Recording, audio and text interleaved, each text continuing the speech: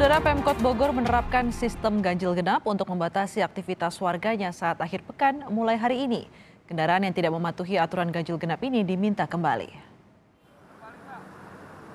Wali Kota Bogor Bima Arya menyebut peraturan ganjil genap diberlakukan untuk menahan laju penambahan kasus COVID-19 di Kota Bogor. Pengaruh aturan ganjil genap baru akan terlihat sekitar seminggu hingga dua minggu mendatang. Setidaknya ada enam titik pos sekat di pintu masuk kota Bogor dan tujuh checkpoint di dalam kota Bogor. Aturan ini berlaku selama 14 hari ke depan setiap akhir pekan.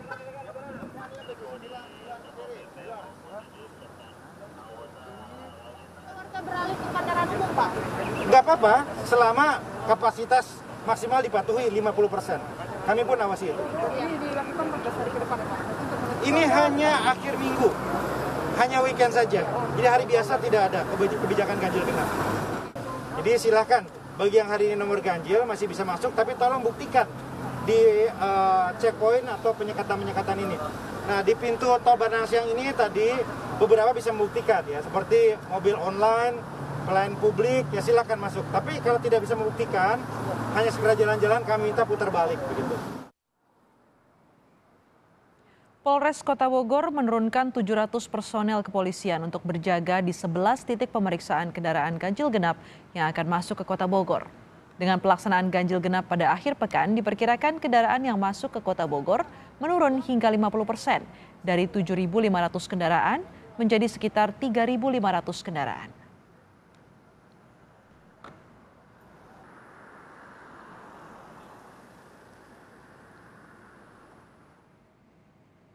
Salah satu mobil yang diputar balik petugas adalah milik penyanyi dangdut Ayu Ting Ting. Dari foto yang beredar tampak petugas Satpol PP Kota Bogor mengarahkan Ayu Ting Ting untuk berputar balik. Mobil yang dikendarai penyanyi yang bernama asli Ayu ini diketahui bernomor ganjil. Menurut petugas Satpol PP Mahfud, Ayu mengaku akan masuk ke rest area namun salah arah.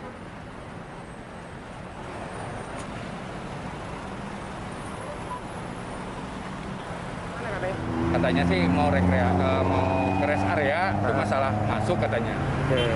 Platnya memang ganjil akhirnya. iya Tadi dikasih penjelasan apa Kang oleh Akang? karena di sini sistemnya ganjil genap Aha. kebetulan hari ini genap Aha. yang ganjil putar balik kalah ke tempat asal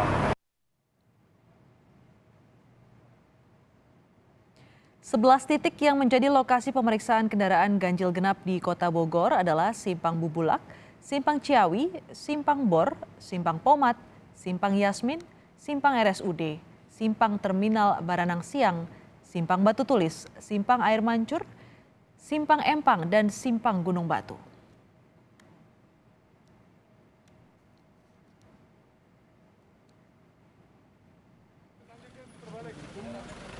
Berbeda dengan pemerintah Kota Bogor, Pemkap Bogor, Jawa Barat memilih memberlakukan kembali wajib surat antigen bagi pengunjung kawasan wisata puncak.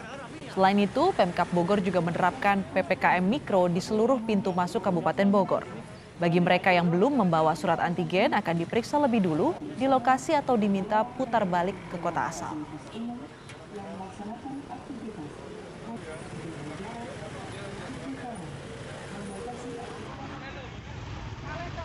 Sementara itu di Solo, Jawa Tengah, saudara petugas gabungan menggelar patroli penegakan protokol kesehatan. Walau tidak melakukan penutupan fasilitas umum, Solo tetap ikut dalam program Jawa Tengah dua hari di rumah saja. Yang menjadi fokus adalah kerumunan dan potensi penularan COVID-19. Akan ada sejumlah sanksi bagi yang melanggar protokol kesehatan dan akan dilihat dari pelanggarannya untuk menentukan sanksi yang dijatuhkan.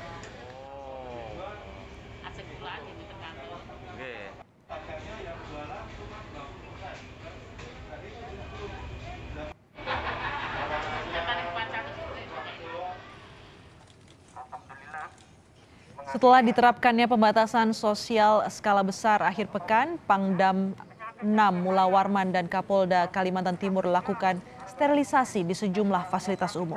Salah satunya di Pasar Pandansari Balikpapan, Kalimantan Timur. Upaya sterilisasi yang dilakukan dengan cara menyemprotkan cairan disinfektan.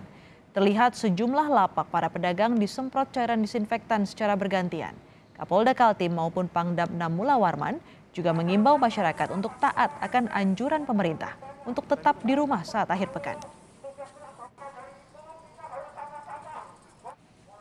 Forkompinda yang ada di wilayah Kalimantan Timur, termasuk di Provinsi Samarinda, kita sama-sama melaksanakan kegiatan sesuai dengan instruksi Bapak Gubernur nomor 1 tahun 2001 tentang pelaksanaan eh, pembatasan kegiatan bagi masyarakat sekaligus juga melaksanakan kegiatan eh, Kalimantan Timur bersemedi kalau Pak Gubernur menyampaikan ya. Kalau saya katakan Kalimantan Timur steril.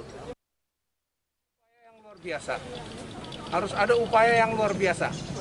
Nah ini adalah salah satu langkah kita bersama-sama untuk menekan sekali lagi karena kita harus menekan angka terkonfirmasi ini. Caranya adalah kita dari hulu, dari awal kita mencegah. Menekan dengan mencegah itu yang terbaik. Ya jangan tunggu sakit dulu baru saya disembuhkan. Nah, salah satu cara mencegah adalah seperti ini. Kita coba untuk lakukan Sabtu dan Minggu kita senyap. Kita istirahat rumah. Lebih lengkap terkait penerapan pembatasan kegiatan masyarakat pada akhir pekan di sejumlah daerah. Kita bergabung dengan jurnalis Kompas TV, ada Cindy Permadi di Bogor, Jawa Barat, dan ada Iskandar Amir Dahlan di Balikpapan, Kalimantan Timur. Kita ke Cindy Permadi di Bogor, Jawa Barat terlebih dahulu. Cindy, petang ini bagaimana pemeriksaan kendaraan ganjil genap di Kota Bogor? Ya, Astrid, selamat petang. Saat ini saya berada di titik sekat yang lokasinya ada di selepas gerbang tol Bogor. Fungsinya adalah untuk menyaring kendaraan-kendaraan yang mau masuk ke kota Bogor melalui tol Jagorawi. Di sini titik sekat atau pos sekatnya sudah beroperasi dari jam 8 pagi hingga nanti jam 8 malam dan hingga pukul setengah 4 sore tadi setidaknya sudah ada 230 kendaraan yang diputar balik yang diputar balik ini adalah kendaraan-kendaraan yang berplat ganjil atau mereka tidak dapat membuktikan bahwa mereka memiliki urusan atau kepentingan khusus ataupun mendesak di kota Bogor. Jadi memang ada kendaraan-kendaraan yang sebenarnya masih bisa ditoleransi, masih diperbolehkan untuk masuk ke kota Bogor di akhir pekan, yaitu adalah kendaraan-kendaraan pelayanan publik, misalnya seperti transportasi umum, mobil pemadam kebakaran, ambulans, mobil logistik, mobil sembako, mobil masyarakat pun masih boleh dengan catatan mereka adalah warga Bogor dibuktikan dengan KTP domisili Kota Bogor. Kemudian jika mereka ada bekerja di sini mereka menunjukkan dengan surat tugas atau dengan ID card ataupun misalnya mereka ada kepentingan mendadak ataupun mendesak ke rumah sakit. Misalnya dirujuk mereka bisa membuktikan dengan surat rujukan itu. Semakin sore memang semakin ramai ini juga kemudian diakui oleh petugas tapi dari pantauan kami sekitar pukul 3 tidak ada antrian yang panjang menjelang titik sekat ini. Paling panjang tadi hanya sekitar 50 meter saja. Ini juga karena dari data jika dibandingkan dengan akhir pekan sebelumnya, ada penurunan jumlah kendaraan yang masuk ke kota Bogor dari gerbang tol Bogor ini cukup signifikan hingga sekitar 3.000 kendaraan. Ini sesuai dengan target dan juga harapan dari Pemkot Bogor yaitu dapat memangkas 50% kendaraan yang masuk ke kota Bogor dengan diterapkannya ganjil genap ini. Di sini sistemnya atau teknisnya adalah pembatas jalan yang di tengah dibuka. Jadi kendaraan-kendaraan yang tidak memenuhi syarat-syarat tadi kemudian diminta putar balik dan diarahkan untuk masuk lagi ke kota Bogor. Nah sebenarnya untuk pemberlakuan ganjil genap ini berlaku 24 jam. Tapi titik sekatnya hanya dari jam 8 pagi hingga jam 8 malam. Itu jadi pertanyaan lalu selepas itu seperti apa? Diantisipasi oleh Pemkot Bogor yaitu dengan menyiagakan juga petugas-petugas yang akan mobile di Kota Bogor. Ada checkpoint juga, ada tujuh checkpoint di Kota Bogor. Lokasinya ada di Simpang Air Mancur, Simpang RSUD Kota Bogor, Simpang Tugu Kujang, Simpang Jalak Harupat, Simpang Bantar Jati, Simpang Irama Nusantara, dan juga Simpang Eka Lokasari. Ditegaskan bahwa ganjil genap ini diberlakukan bukan untuk mengatasi arus lalu lintas, tapi ini terkait dengan protokol kesehatan sehingga penindakannya juga nanti akan didasarkan pada perwal terkait eh, penanggulangan COVID-19. Tapi untuk di sini tidak ada sanksi, hanya berupa putar balik saja itu menjadi konsekuensi bagi pengendara yang platnya tidak sesuai dengan tanggal. Ada lima titik sekat lain selain di sini yang disiagakan oleh Pemkot Kota Bogor menjelang atau masuk ke akses kota Bogor misalnya ada juga di Simpang Yasmin itu adalah untuk menyaring kendaraan-kendaraan yang mau masuk dari arah Parung dan juga Tangerang kemudian ada di Simpang Bubulak dan juga Simpang Gunung Batu itu untuk menyaring kendaraan dari arah barat Kabupaten Bogor, kemudian dari Simpang Pomat untuk memantau kendaraan dari arah Cibinong, Depok, dan juga Jakarta. Juga ada di Sekat Ciawi untuk menyaring kendaraan yang datang dari arah Puncak dan juga Sukabumi. Untuk ganjil genap ini akan diberlakukan selama dua pekan, tapi hanya akan di akhir pekan saja. Artinya hari ini uh, hari pertama Sabtu Minggu, pekan depan Jumat Sabtu Minggu dan nanti akan ada evaluasi dari Pemkot Bogor untuk melihat seberapa efektif ganjil genap ini. Astrid. Baik, terima kasih Sini Permadi. Kita beralih ke Balikpapan, sudah ada rekan Iskandar Amir Dahlan di sana. Selamat petang Iskandar.